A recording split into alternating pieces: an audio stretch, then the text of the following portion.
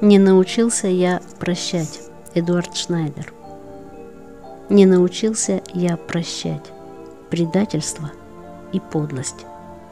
Не научился понимать. Хожу, а нужно ползать.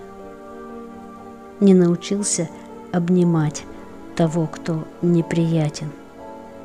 Не научился другом звать того, кто мне приятель. Не научился говорить дешевых комплиментов. Не научился торговать и не ловлю моментов. Чтоб выгодно преподнести себя и все такое. Наверное, и не научусь. Так видно, я устроен.